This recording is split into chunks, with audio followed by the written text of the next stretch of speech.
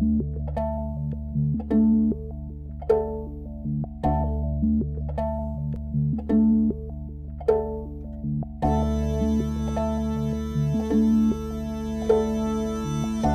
vallée de Loul est composée de, trois communes que sont Montmorin, Brouy, Sainte-Marie, pour une, une population totale de 200 habitants à l'année.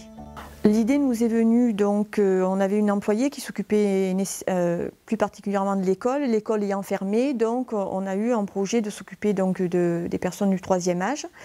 Et donc euh, le service en fait consiste à, rendre euh, visite aux personnes âgées, pour s'assurer qu'elles vont bien, pour savoir euh, ce dont elles ont besoin éventuellement, ponctuellement, en plus des services qui sont mis en place comme la DMR, des services d'aide ménagère qui sont déjà sur le territoire.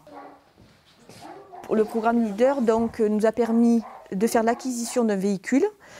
Alors on a fait l'acquisition, ça c'était un choix euh, d'un véhicule électrique, voilà, euh, et nous a permis d'installer la borne électrique qui est nécessaire pour ce véhicule et d'acheter un téléphone pour euh, l'agent du service afin qu'elle contacte donc les personnes âgées, euh, quelle est son autonomie euh, au niveau du, du téléphone. Voilà. Oui, bonjour, c'est Chantal. De là, c'est CVO. Voilà. Ça va? Oui? Votre jambe Votre jambe La demande, c'est en fait euh, l'accompagnement, c'est la discussion, c'est la solitude. En fait, elles ont besoin de, de- de rencontrer et de discuter. On, a affaire à des personnes, c'est-à-dire en milieu rural, des, personnes qui n'ont pas l'habitude de, de demander.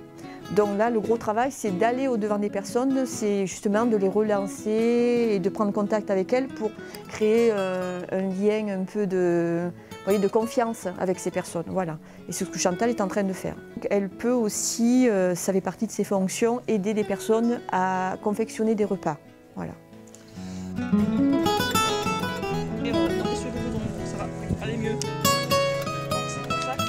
Ce sont des personnes qui sont un peu fragiles, qui sont contentes lorsque Chantal les accompagne euh, dans une petite promenade.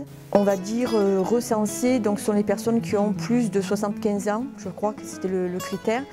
Donc euh, on va dire il y a une douzaine de personnes qui sont recensées, euh, qui auraient réellement besoin.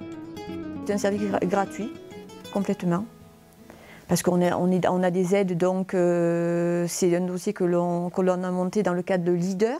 Donc on a des aides de l'Europe, de la région et du Conseil général. Et donc il reste 20% à notre charge qui sont pris en charge par la collectivité. Voilà.